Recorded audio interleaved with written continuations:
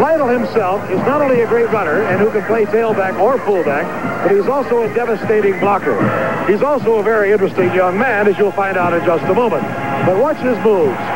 When Lytle gets through, he has really got some speed. He can cut. He can hit hard. He can do anything that is asked of him at any time, any place. Jim Lampley talked with Rob Lytle just a little bit earlier, and here's their conversation. Rob, there has to be a sort of inherent frustration having been here for the past few years at Michigan. The record is so good, win after win, yet no Rose Bowl. So many times you've been ranked in the top two or three, and yet no national championship. As you come down to these last few games, do you think about the disappointments of the past?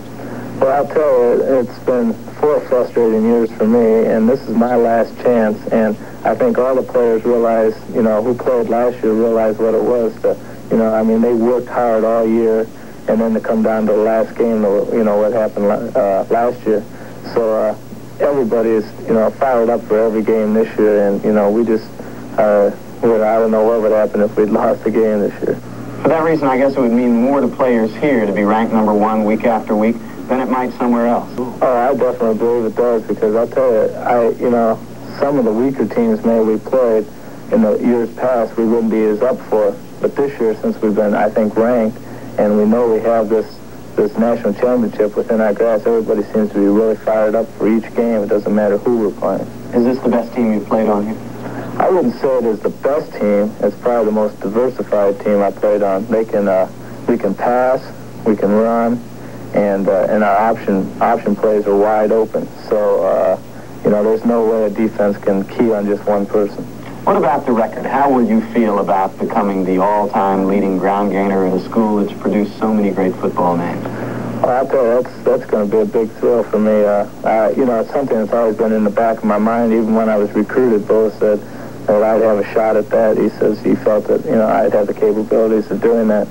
So, you know, it's been something in the back of my mind since, you know, ever since I've been here. But still, this uh, team effort is the most important thing, and, and I feel that, you know, so once we win, you know, everything, then that'll be just icing on the cake. Rob, you're not big enough to run over a lot of tacklers. Uh, what are your strengths as a runner?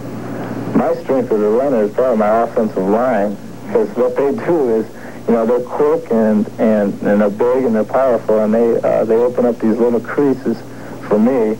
And uh, that's all I, you know, that's all I need because I feel that I'm quick enough to get into the crease and get away from those big defensive men.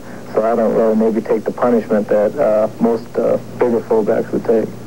What's in the future for Rob Lytle, professional football? Well, if that, you know, if that comes about, then I'd like to give that a try. But if it doesn't, then uh, I'd like to go back home and uh, probably work with my dad. And you'd like to go back home and say you won a national championship in Michigan? I sure would, I'll tell you. that'd, be, that'd be just great. That's just icing on the cake because that's something we've been striving for for four years, and I hope we can do it my senior year.